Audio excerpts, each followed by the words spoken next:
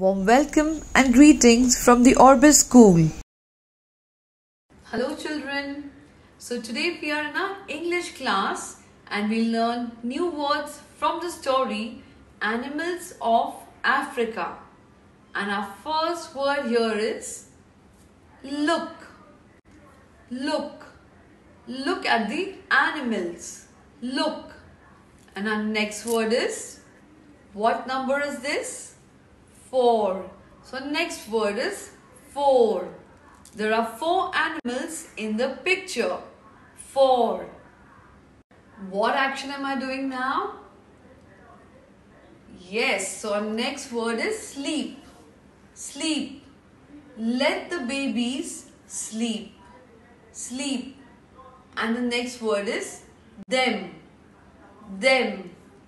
All of them are sitting on the table. Them. Our next word is under. Under.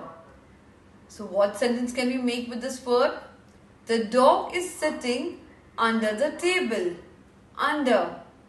And our next word is brown. Brown. The dog is brown in color. Brown. Our next word is have. Have.